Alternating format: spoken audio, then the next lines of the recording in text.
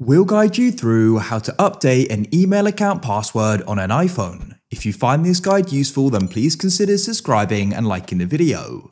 So in order to keep using an email account on your iPhone, if you go and change the password of the actual account, you need to go and update it on your iPhone itself so it can go and keep being used. So to go and do this, it's super straightforward. You need to come out of the Mail app. Then you need to go and open up the Settings app like so. Scroll down to the bottom and you need to find the option for apps like so. Now you need to scroll down and find the option for M. It'll be under Mail, so you can find it alphabetically. Go and click on it.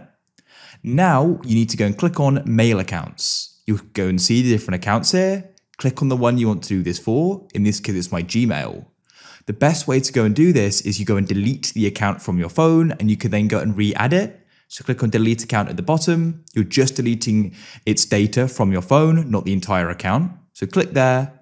And what you can do is click on add account and you can then choose the service. In my case, it's Google and we can go and add it again. I've now finished adding it as you can see there. And that's it. You've now updated the password.